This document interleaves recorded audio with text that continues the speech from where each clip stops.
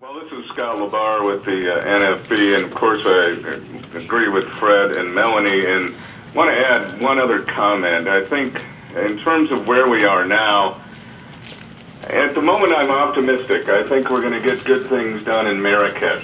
But the storm cloud that's looming is this greater and broader copyright almost theological debate that's going on about how various international obligations should be reiterated in the treaty and whether or not uh, those who uh, prefer a more restrictive copyright regime as, to, as opposed to those who want more liberal copyright, whether either side is sort of gaining ground uh, by uh, use of this treaty and whether uh, you know certain doctrines will be threatened or expanded or constricted.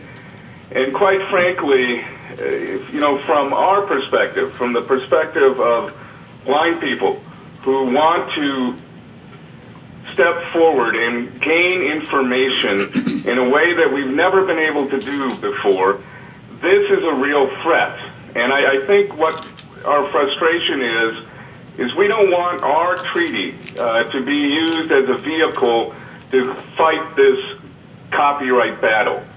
And we hope and urge the negotiators and others to find a way to uh, assure each other that the treaty is not being used to advance or contract certain rights, but rather focusing on what we're really trying to get done. Now, I know these copyright wars will need to be fought, but this is not the place.